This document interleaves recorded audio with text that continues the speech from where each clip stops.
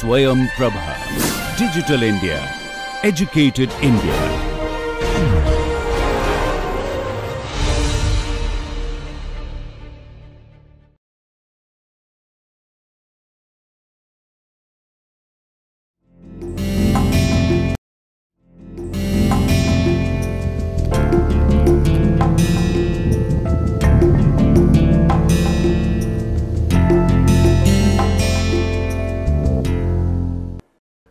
Namaste, I am Dr. Gopal Sharan Parashari.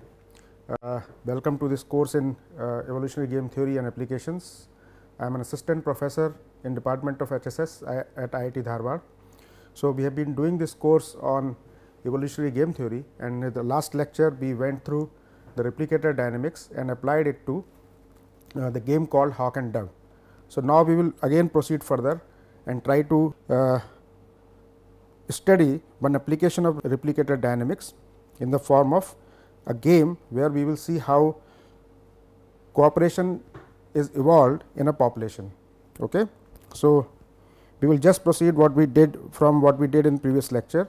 So, basically we saw that this uh, we were studying this replicator dynamics in the realm of natural selection and we saw uh, in the process of natural selection many species uh, what they do they undergo a fierce competition okay. as we know this natural selection is meant by uh, survival of the fittest survival of the fittest and this process we saw and we know that there is a fierce competition involved. But to our surprise there are many examples of cooperation in this along with this competition in the animal world. There are certain examples like a variety of bats what they do they help their hungry friends by sharing the blood meal with them. Okay. Similarly, we have other examples where uh, organisms or animals they are involved in grooming. Animals are involved in grooming. For example, this impalas which are antelope, what they do they take turns for performing an upward sweep of the tongue along the neck in order to remove ticks. So, this is how we see examples of cooperation in the animal world. Similarly, another example example is related to some alarm calling when an animal sees any predator then what they do they use some mechanism of alarm calling and they let the others know other members of their population let them know about this uh, danger from the predator okay? And also at the same time there is a risk involved for this person who is raising the alarm that this predator may see this uh, this animal also. So avoiding this risk itself what they do they are involved in this kind of process where they cooperate with the other uh, members of their population uh, by the process of this alarm calling to to alert them uh, for a predator okay?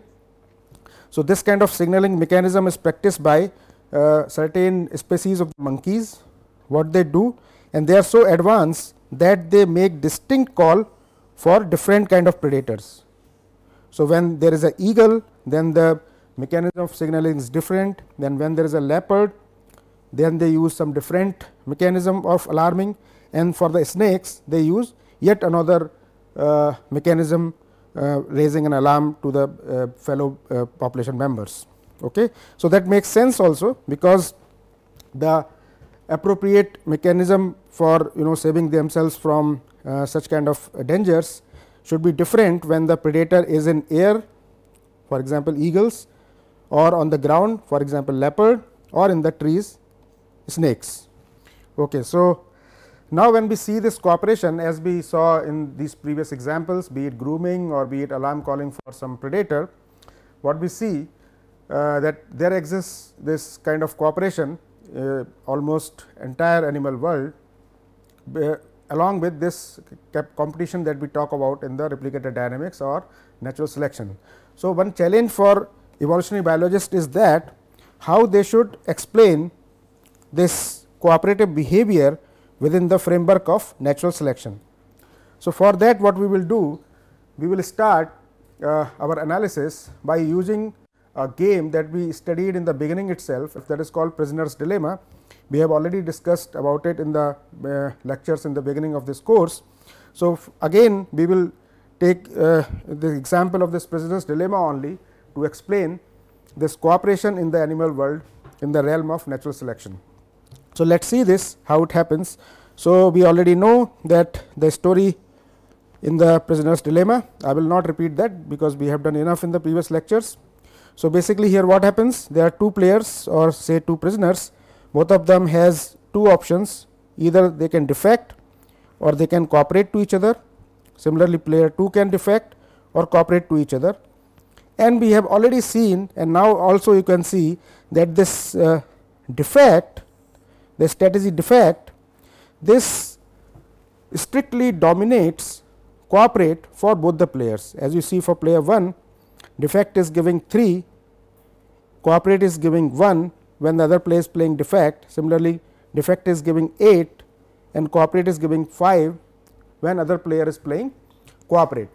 Okay. So, we can see that this defect is strictly defect strictly dominates cooperate. Okay. And suppose this kind of uh, setting is there in the animal world, then we cannot foresee any kind of uh, cooperation in this setting as we can clearly see that defect is always strictly dominating uh, cooperate. So, there is no possibility of uh, cooperation coming into being. Okay.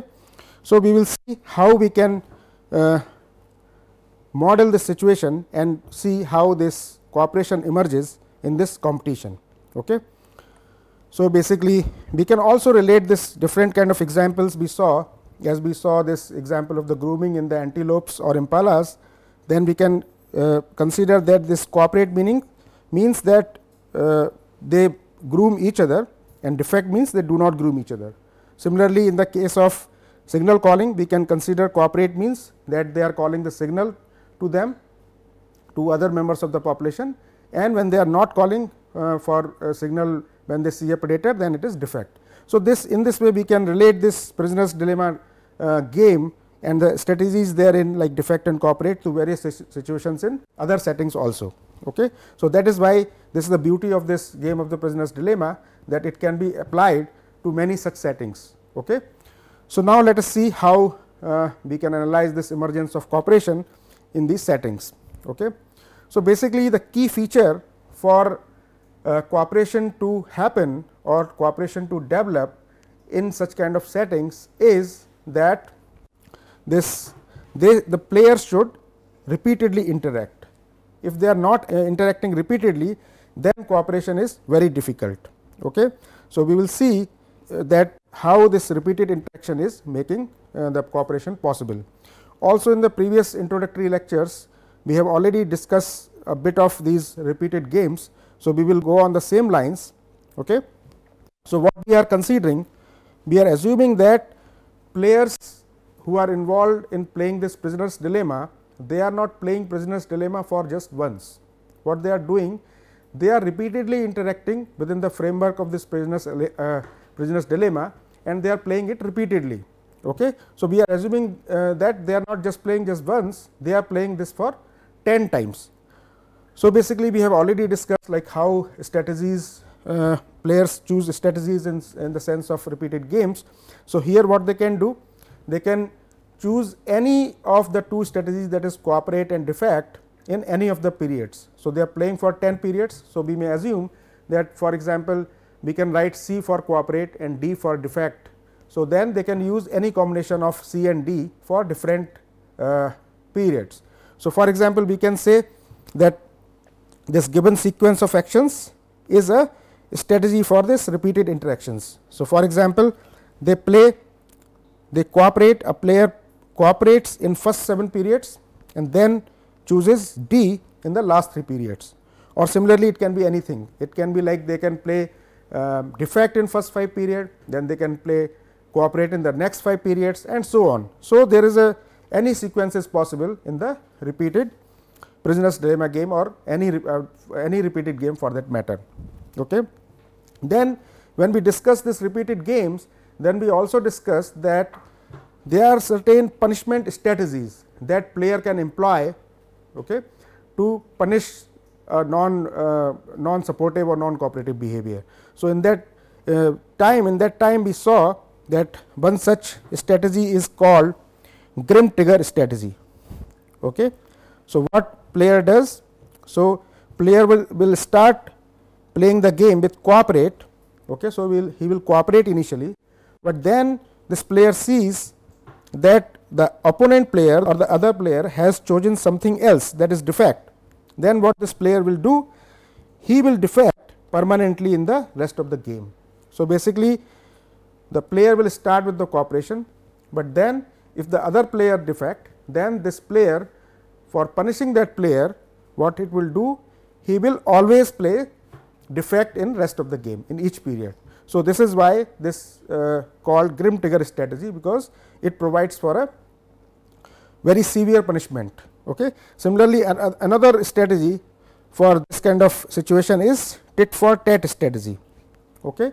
So, as the name suggests the what the player will does in this situation in this strategy that he will start playing cooperate, he will choose cooperate in the first period and then in any subsequent period or the future period what he will do he will choose what the other player has chosen in the previous period.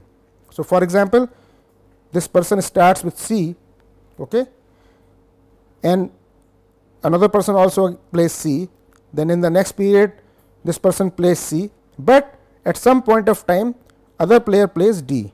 So, then what this person will do? The first player will play D now.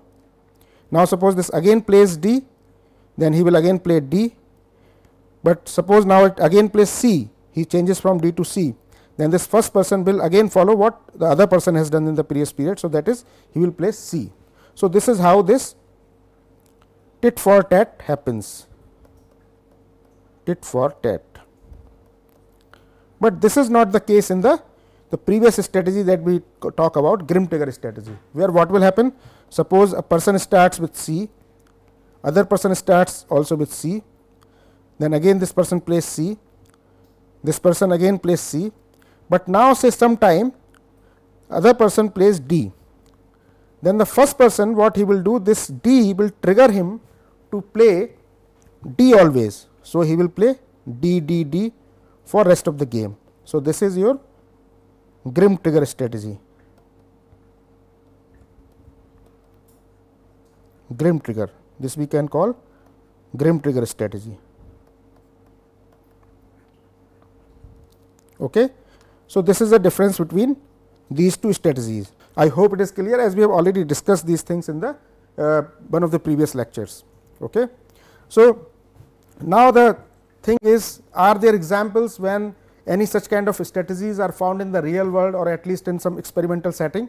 So, we will see that there are some examples of the tit for tat strategy in some real world or experimental settings. Okay.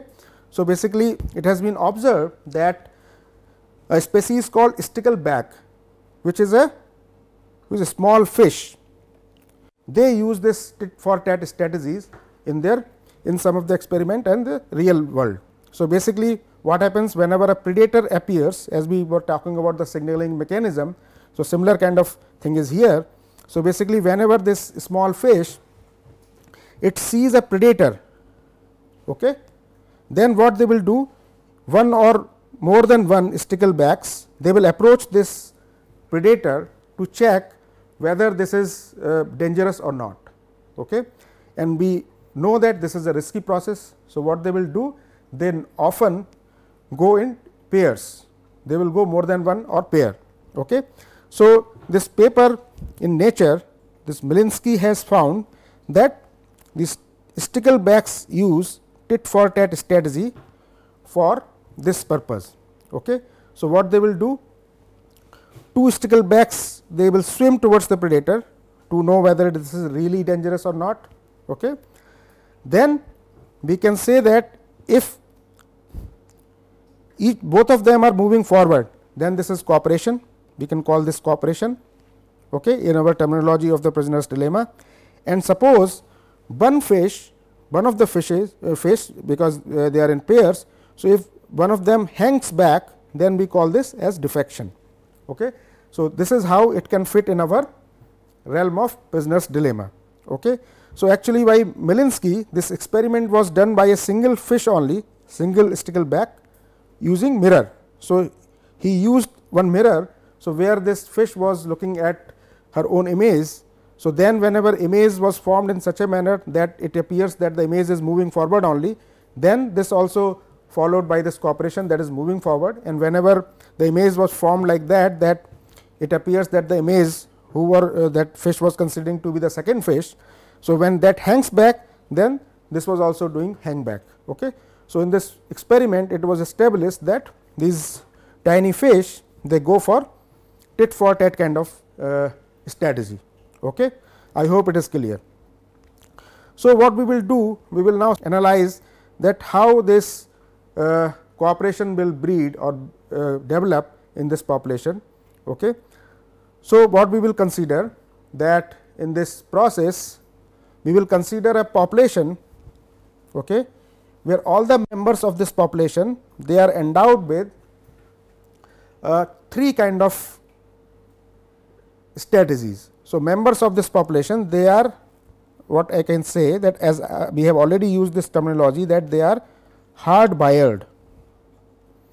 So, all of them all the members of this population are hardwired with these three strategies. So, we can say that in this population there is a gene pool where these three strategies are there. That means, all of the members are hardwired with any of these three strategies. So, what are these three strategies? One is there are members who are hardwired to always cooperate. Okay. Then there are other members who are hardwired to always defect. So, the players or the members of the population who are always cooperating or hardwired to cooperate always, them we are calling cooperators. Okay. And the ones those are always defecting or hardwired to defect, we are calling them defectors. Okay. So, this is same just like prisoner's dilemma till now, but there is a change here what we are considering that there is third type of members are also there. For them they are hardwired to play tit for tat strategy okay, instead of cooperating always cooperating or always defecting. Okay. So, this is these are the three strategies in gene pool. So, what do you mean by uh, tit for tat? These uh, members of this population who are hardwired for playing tit for tat, what they will do? They will choose cooperate in the beginning of the game that is in the first period and then they will choose okay, what other player has chosen in the previous period. As I already told that suppose one person this is player 1 and this is player 2. So, suppose player 1 plays C, player 2 also plays C. Then say in the next period what is happening? Player 1 is playing C, but player 2 played D. Then what player 1 will do player 1 will choose D okay, because player 2 has played D in the previous period. Okay. Now, suppose this player 2 again plays C, now this player 1 will also again play C. So, this kind of situation is called tit for tat as we have already discussed. Okay. So, again I am repeating it that now our population has three types of gene in the uh, population. So, three types of strategies are there that means the members of this population are hardwired to play any of these three strategies. So, one uh, possibility is that few of them are hardwired with the cooperate or always cooperate. So, those we are calling cooperators. The other type of uh, members are there in the population, they are hardwired for always defecting and we are calling them defectors. And the third thing is tit for tat that few of the members of this population are, are hardwired for playing tit for tat strategy that I have already explained. Okay. So, let us proceed further in this uh, direction. So, basically uh, what we are doing? We are considering a pairwise interaction in a population where the members of the population are hardwired to play either of these three strategies. Okay. So, uh, that in other words we can see that two members are drawn randomly to play this game prisoner's dilemma kind of game. Okay. Uh, they are randomly drawn and they are matched to play this game and where there are three possibilities cooperator, defector and tit for tat. And as we have already discussed in this course that in the realm of evolutionary game theory what happens players do not choose the strategy rather the strategy is hardwired into them. So, as I already told that in this population members are hardwired to play any of these three uh, strategies. Okay. So, we, what we will do next step is to write a strategic form game in this situation. Okay. So, we can do that easily. So, basically we already know that suppose in the case of prisoner's dilemma we already know. So, the strategic form of prisoner's dilemma can be denoted by uh, like this. So, there are two strategies defect and cooperate, defect and cooperate and these were the respective payoffs. Okay. So, when two defectors are interacting, so each of them getting 3 comma 3. When a defector is interacting with cooperator, then defector is getting 8 and cooperator is getting 1. As we already know, I am again telling that in this payoff ordered pair, the first this first number tells the payoff of player 1 or row player and the second number tells the payoff of the player 2 or the column player. Okay. These things we have already done. Similarly, when a cooperate strategy player interacts with the defector, then cooperator will get 1 and the defector will get, get 8 and when two cooperators when they interact then each of them get 5 5. So, this was the case with prisoner's dilemma. So, what we will see now that how the strategic form game is different uh, in our next new situation where there is a third strategy also that is tit for tat that is what we are going to see here. Okay. And now, another uh, change from our pre previous setting is that now these players are not just interacting once, they are interacting for the 10 times. So, this is repeated prisoner's dilemma. So, repeated means we are considering a 10 period prisoner's dilemma. So, players are playing this prisoner's dilemma for 10 period with one more strategy tit for tat. Okay. So, let us see. So, we can easily see that what will happen when two defectors they are engaged to play this prisoner's dilemma for 10 times. So, if they are playing one time then they are getting 3 3. Okay. So, here as we know that they are hardwired to play defect. So, when they play defect for 10 times then what they will do they what they will get as payoff they will get 30 and 30 okay as in for one instance one interaction they are getting 3 comma 3 and since they are hardwired to play always defect so what will happen? 10 times they will get 3 3 so it is 30 comma 30 okay? Similarly when a defector interacts with a cooperator so we are here. So when they interact for 10 times so then they will get 80 comma 10 why? Because in a single iteration they are getting 8 comma 1 and since they are hard, hardwired to play player 1 is hardwired to play defect player 2 is hardwired to play cooperate. So when they do it for 10 times so they are getting 80 comma 10 okay? Similarly we can uh, get to these cells in the similar manner. So when this cooperate interacts with the defect just just opposite to this so now it is 10 comma 80 okay?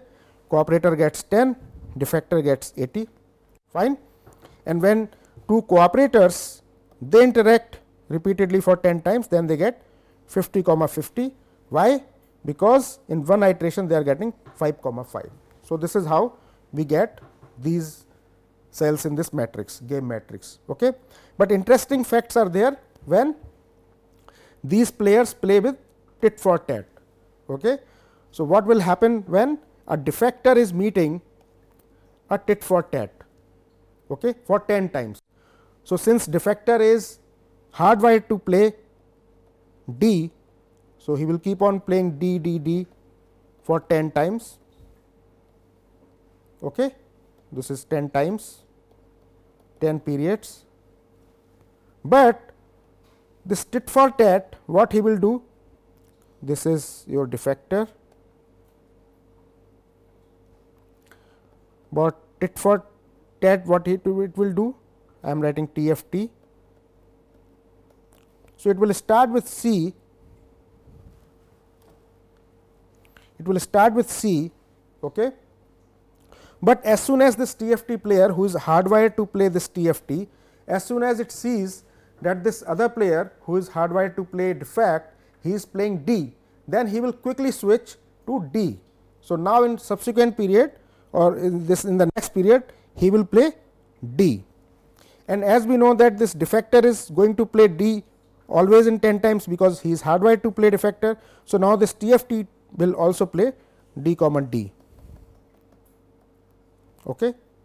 So, this is also 10 times. So, this is how the game will proceed and we know that when defector is interacting with the cooperator then defector is getting what 8.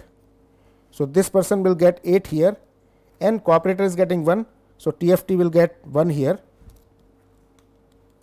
So, TFT will get 1 here sorry.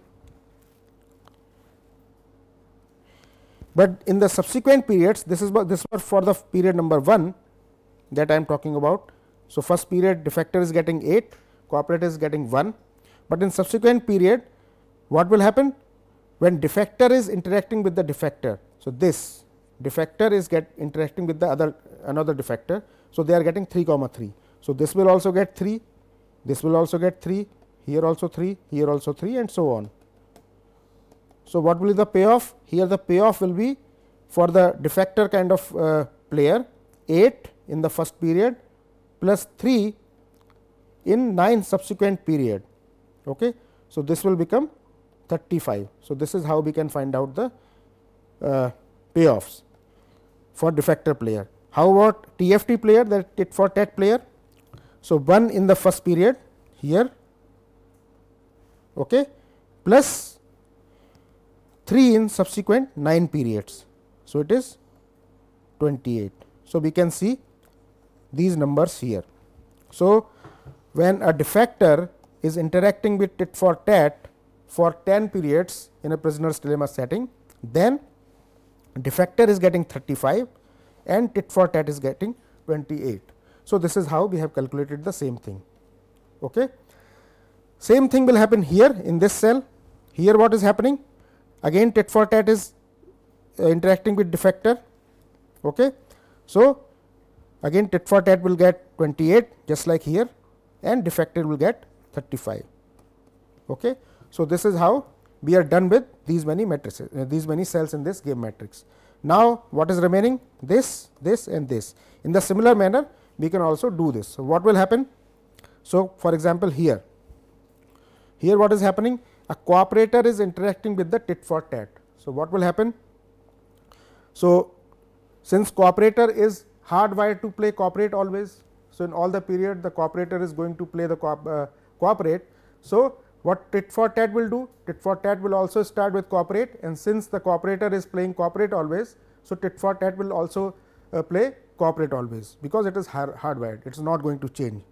Okay. So, what we will get? So, we know from this game matrix that when cooperate interacts with another cooperator then they get 5 comma 5 and since it is happening for 10 periods.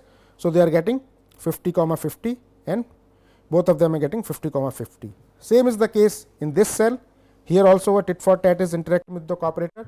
So, here also they will get 50 and 50. Similarly, we can easily see for this cell also where two tit for tat are interacting. So, since both of them are hardwired to play tit for tat, both of them will start with C and they will keep on playing C for 10 players and similar in uh, similar to the previous case of cooperator versus tit for tat here also they will get 50 comma 50 because nobody is going to defect. So, both of these players who are hardwired to play tit for tat for 10 periods they will keep on playing cooperate and will get payoff of 5 in each period. So, 15 10 periods. So, this is how we saw this strategic form game for this 10 times or 10 period repeated prisoner's dilemma game. Okay. So, this is how we have modeled our situation of this repeated prisoner's dilemma to get some idea about emergence of cooperation or evolution of cooperation. Okay. So, we will have a look of this uh, strategic form game that we have just formulated. So, if we see carefully that there is no strategy that is strictly dominated. Okay. So, in the previous lectures especially in the beginning ones when we uh, recapitulated the uh, concepts in game theory, then we saw that what are strictly dominated uh, strategies, what are strictly dominant strategies. So, if we go back to that knowledge, then we can easily see that there is no strategy in this game that strictly that is strictly dominated. So, we can see defect is 30, 80, 35, then cooperate is 10, 50, 50. So, we can easily see that none of them is strictly dominated or strictly dominant. Similarly, tit for tat 28, 50 and 50. Okay. You must get idea from those previous lectures. Okay. So, this is one uh, takeaway message from this game that right now we can analyze that no strategy is strictly dominated. Fine. If we move further and see then we can say that both cooperator and tit for tat are best responses to tit for tat. Okay. So, suppose we assume that player 2 is playing tit for tat. So, we are in this column. Okay. So, what is happening for player 1 both of them are best response. So, we know over from previous knowledge what best responses are. So, playing cooperate and playing tit for tat is giving this player 1 higher payoff that is 50.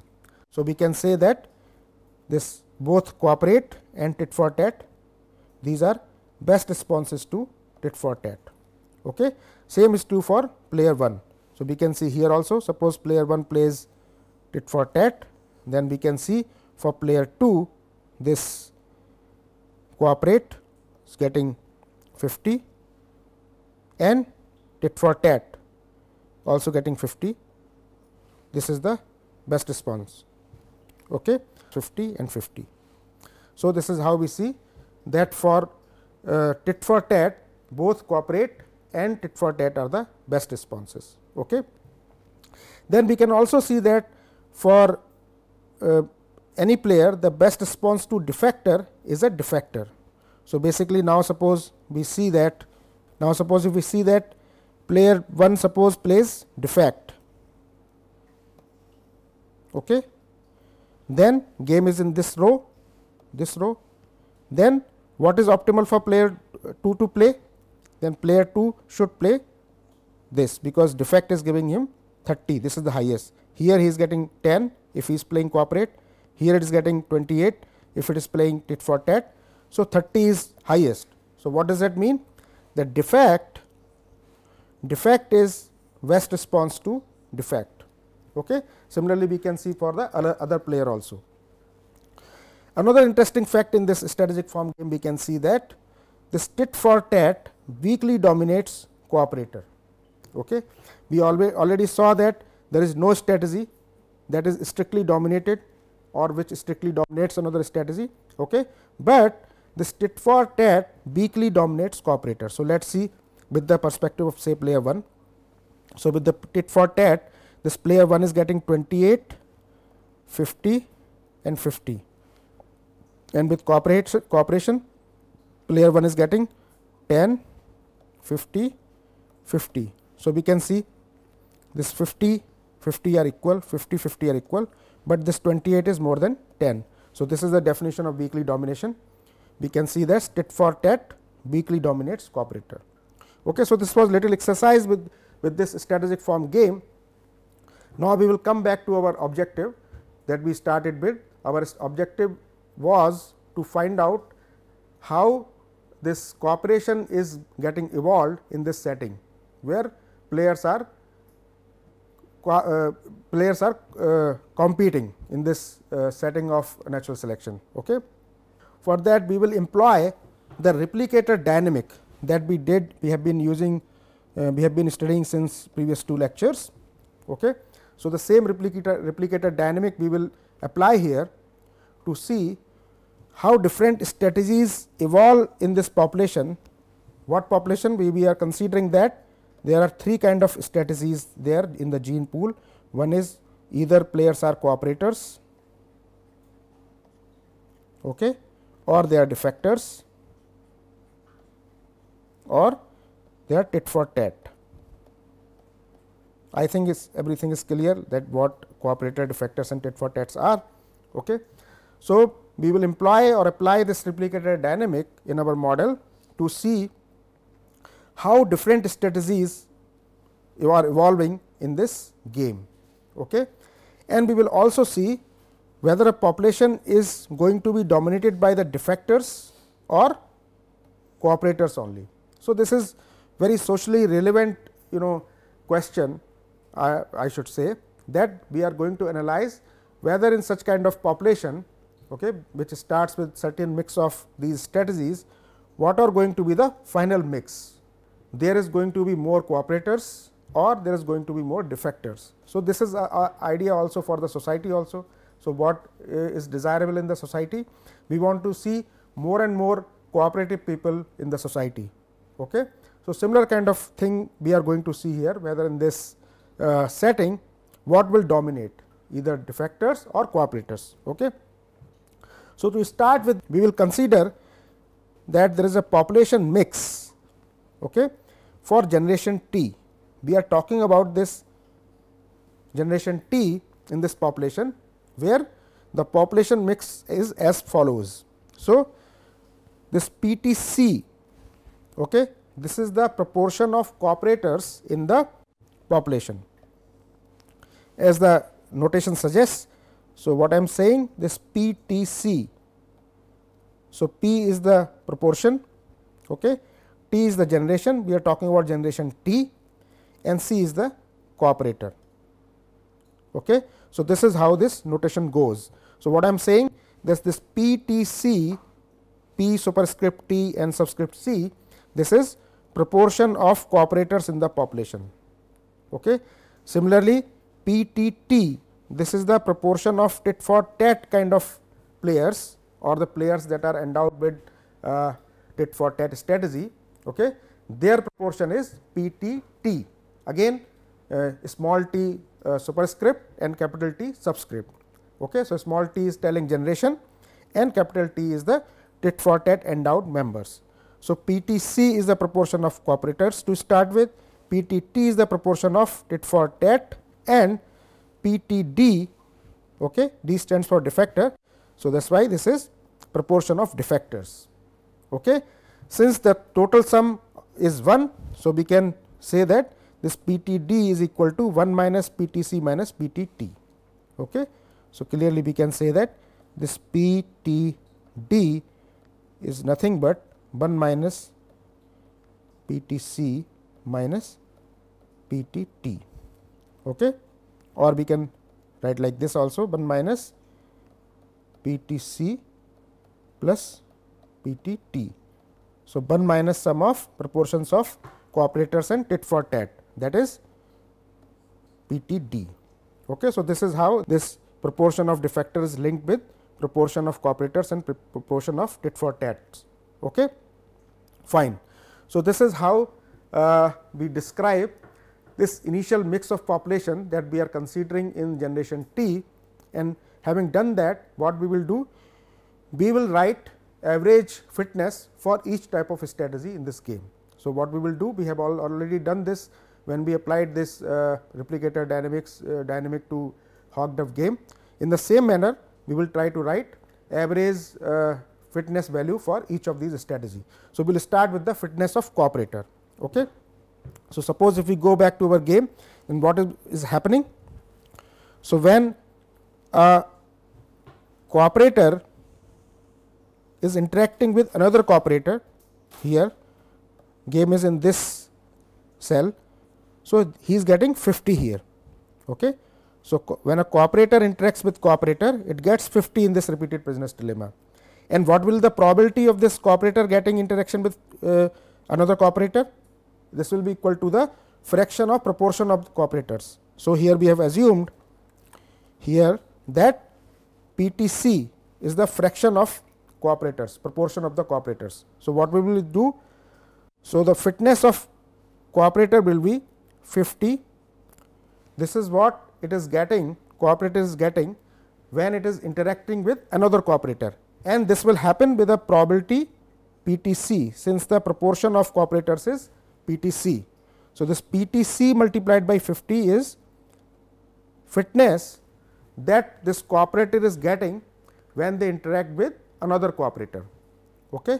plus what are the other option So, a cooperator may interact with another cooperator, it may interact with another uh, defector and it may also interact another person another uh, member of the population which has tit for tat as its endowed strategy. Okay. But all these three events will happen with some probability as we saw in the case of cooperator it is happening with this probability equal to the fraction or the proportion of the cooperators.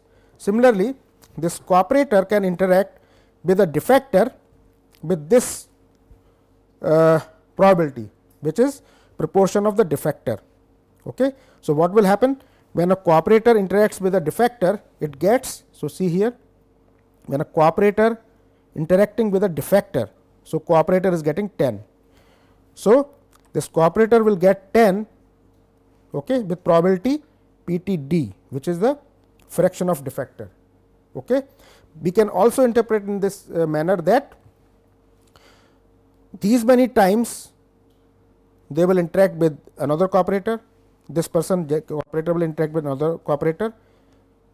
This will be the fraction of interactions when this cooperator interacts with a defector and this will be the fraction of interaction when this cooperator in interacts with another player with tit for tat or we can interpret as a probability both are same. So, similarly, what will happen a cooperator interacts with another player with tit for tat. So, cooperator interacts with tit for tat here we are and it gets both get 50. So, we are talking about cooperator. So, it gets 50. So, this person is getting 50 with probability p t t or this is going to be this fraction of interactions. So, this is how we can write the average fitness of cooperator which is nothing but the proportion of cooperator multiplied by the payoff or the fitness that it is getting while it is interacting with another cooperator plus the fraction of or the proportion of defectors multiplied by the payoff or fitness that they are getting when cooperators cooperator is interacting with the when cooperator is getting when it is interacting with defector plus the fraction or the proportion of the tit for tat kind of members of the population okay, multiplied by the payoff that cooperator is getting when it is interacting with tit for tat person. Okay. So, this is how we can write the average fitness of cooperator. Okay. So, we should remember this I will mark these three equations as 1 equation number 1. Okay.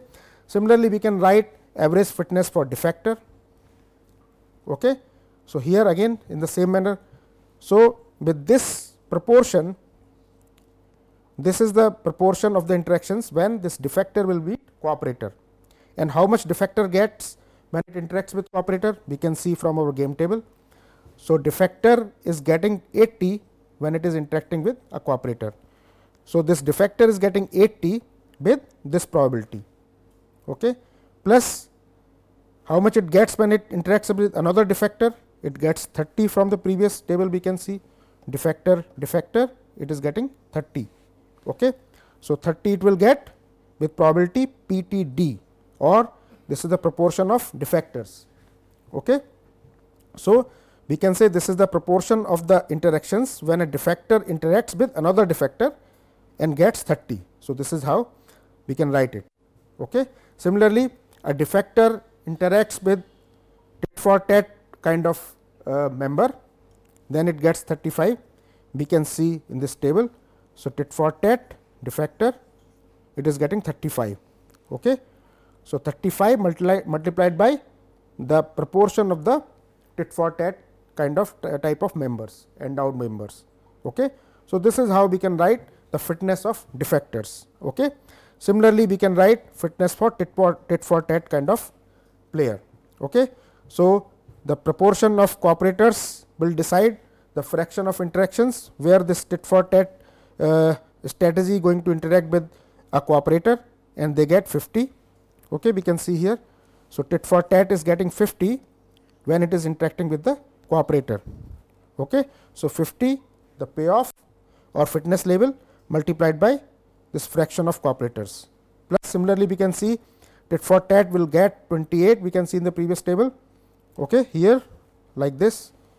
So, tit for tat is getting 28 with interacting with defector. Okay. So, this is how 28 multiplied by proportion of defectors in this population plus when two tit for tat players interact then they get 50 each multiplied by proportion of PTT that is proportion of tit for tat in this population. So, this is how we write this average fitness of each strategy in this population. Okay. I hope it is clear. So, you can practice see it how we are getting these equations from this uh, game table. Okay. We are trying to find out with the different uh, proportions of, of different kind of strategies in, the, in this population and multiplying that with the payoff they are getting from the interaction and this is how we are getting this fitness of a cooperator, fitness of a defector and fitness of a tit for tat player in this population. Okay. So, now we will proceed further and solve this. If we simplify this, we get this kind of equations. Okay. So, if we solve the previous equation and use the relationship that P T D is equal to 1 minus P T C minus P T T. Okay. This is what I described in the previous slide. So, this is the relation between proportion of defector okay, and proportion of cooperator and proportion of tit for tat. So, if we put this relationship in these equations, then what we get? We get these equations. Okay. So, now in terms of PTC and PTT, okay, we can represent the fitness of a cooperator, fitness of a defector and fitness of a tit for tat. Okay. Using this relation, this PTD is not there in these equations. So, we have represented the fitness of these three kind of strategies in terms of PTC that is proportion of cooperators in the population and PTT proportion of tit for tat players in this population. Okay. So, this is how we arrive at these equations and I will call these equations as equation number 2. Okay. So, what we will do? We have got this average fitness of all these three types of strategies. Our job is now to analyze which strategies will thrive more and which strategies will decline during the course of time. Okay. So, for that here in this situation we cannot proceed the way as we did in the previous case when we applied this replicator dynamic in the case of hawk and dove game. Okay. Since there are three strategies, okay, so we cannot do in that manner. What we will do? We will resort to something called a phase diagram. So, we will try to draw a phase diagram okay, to find out what strategies will thrive okay, and how the population mix will alter or change during the course of time. Okay. The results are same as we did in the previous case. We are going to find out the similar things as we did in the case of when we applied replicator dynamic to the game of hawk and dove. There we did with the use of equations only, we did not use any uh, phase diagram in the previous lecture, but here it is very difficult to deal with this kind of equations as there are three strategies. So, we will use this a technique called phase diagram okay, and try to find out the similar things here. So, for that what we will try to do first? We will try to do that how is the situation when a tit for tat tit for tat interacts with say cooperator.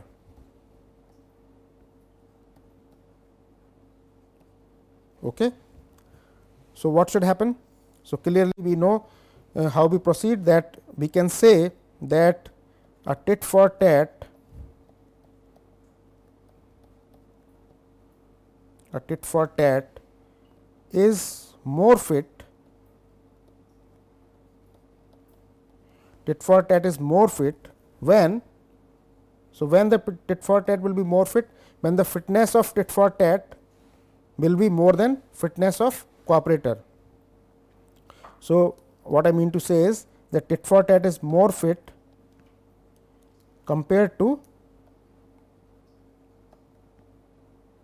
compared to cooperators. So, when it will happen? It will happen when let me write fitness of tit for tat or I should say average fitness of tit for tat is greater than fitness of a cooperator. Okay. So, we can put this value we know this fitness of tit for tat fitness of tit for tat is here we can see what is this this is 28 plus 22 PTC from the previous equation equation number 2 and how we got this equation number 2. So, we just put we just use this relationship that PTD is equal to 1 minus PTC minus PTT. So, again to remind you how we got this equation set of equation set 2 from the equation set 1 just by utilizing the relationship between PTC, PTT and PTD as the total fraction sum should be equal to 1. Okay. So, nothing to confuse here plus 22 PT T. So, this is how we can write it here from here. This should be greater than fitness of cooperator which is this. So, we can write this here 10 plus 40 PTC plus 40 PT T. Okay. So, if you solve this what you will get? So, if we solve this you will get PTC plus PTT should be less or equal to 1. So, this is the case when we say that if this condition is fulfilled then tit for tat is more fit compared to then compared to a cooperator. Okay. So, if this condition is satisfied that PTT plus PTC is less than 1, then this tit for tat is more fit compared to a cooperator. Okay. So, we can simply use this information to draw a diagram. Suppose we draw a diagram, diagram like this. In the x axis, suppose we say we take this PTT fraction of uh, tit for tat kind of players and here we say PTC fraction of uh, cooperators and then suppose here this PTC is 1 at this point and here on this axis it is 1 okay. and if a line draw a line like this. Okay. So, this line is nothing but PTC plus PTT equal to 1. So, this condition says this thing should be less than 1. So, we are talking about this whole region below this line. Okay. So, in this region below this line tit for tat is more fit compared to cooperator. Okay. So, there is something else that this equation says. This says that PTC plus PTT is less than 1. That means, the sum of uh, proportion uh, sum of proportion of cooperators and proportion of tit for tat this should be less than 1. What does it mean? Okay. This means that there are some defectors there, there are some defectors present in the population. How? As we know that this is the relation between PTD and PTC PTT.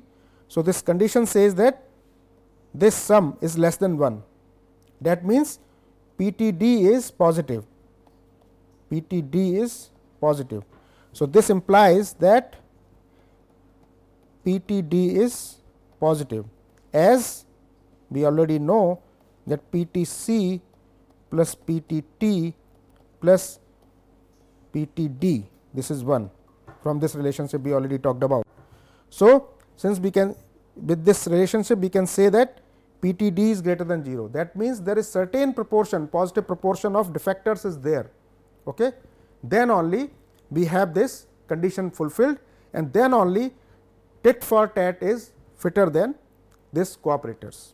So, here we saw that how this tit for tat is faring against this cooperator. Okay.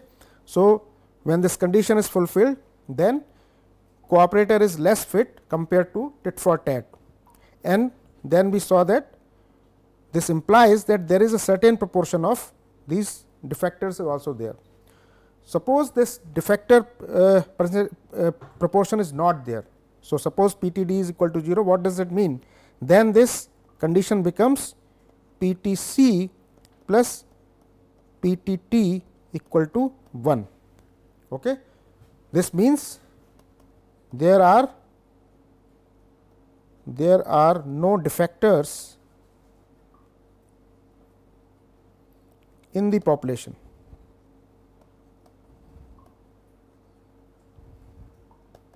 Okay. So, what does what does that mean in this uh, diagram? So, this means we are on this line as I already told this line is nothing but PTC plus PTT equal to 1. Okay. So, nothing to confuse here. So, I am just removing these lines to again explain you again explain to you. So, here this is the axis this represents PTC okay.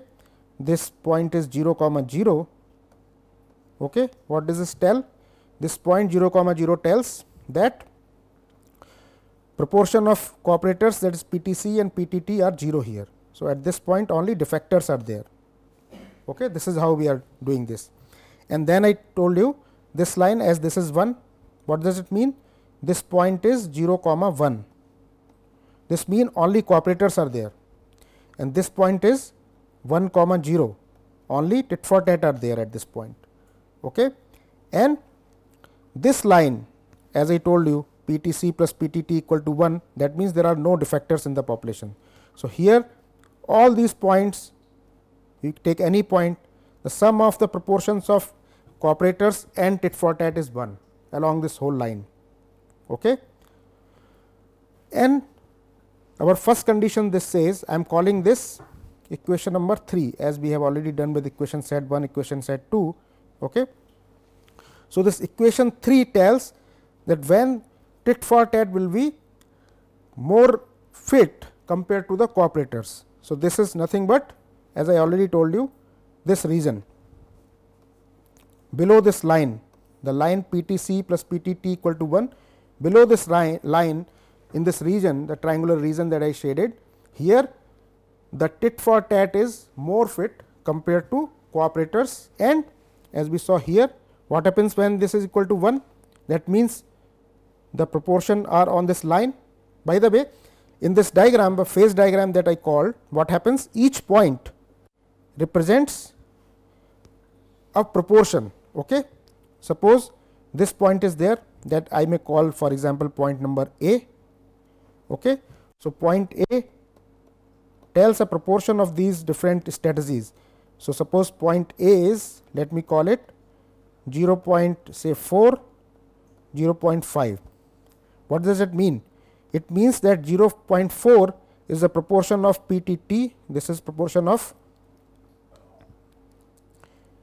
proportion of PTT is 0.4, proportion of uh, tit for tat and this is PTC. Okay. And as the sum of all proportions, all three proportions is 1. So, this means at this point proportion of defectors is 0.1. So, this is how each point is telling about population mix here. So, this is how I told you what point A can be. This is just an example, okay? just to explain it to you that I am considering this point A is 0.4, 0.5. So, PTT proportion of since we are taking PTT on x axis. So, first number tells the proportion of tit for tat 0.4. Second number we have taken second number tells y axis y coordinate so, y axis we, we have taken proportion of C cooperators. So, 0.5 is the proportion of cooperators and the remaining 1 minus 0.4 minus 0.5 that is 0.1 which is the uh, proportion of defectors. So, this is how each point in this phase diagram that represents population mix. Okay? This is how I told you that this 0 comma 0 is a mix when all defectors are there. There is no tit for tat and no cooperator. Why? Because defectors proportion is 1 minus PTC minus PTT. So, 1 minus 0 minus 0 for this point origin. Okay? So, this is how I told you. So, clearly we saw this equation. So, when our po uh, population mix is below this line inside this line in this shaded region that I drew, then tit for tat is better than cooperator or more fit is more fit than cooperator. But when our mix population mix is lying on this line that I drew that is PTC plus PTT equal to 1, then what is happening? Tit for tat and cooperator have equal fitness. Okay. I also told you that when tit for tat is more fit compared to cooperator in the region below this line, when it is happening? It is happening only when there are certain number of defectors are there, some proportion is there of the defectors. If there are no defectors, then we are on the line and then tit for tat has equal fitness compared to the cooperators. Okay. So, we will proceed further with the same kind of analysis, we will find out other uh, conditions for relative fitness of these three strategies and we will complete this phase diagram in the next class. So, thank you very much. We will meet in the next lecture.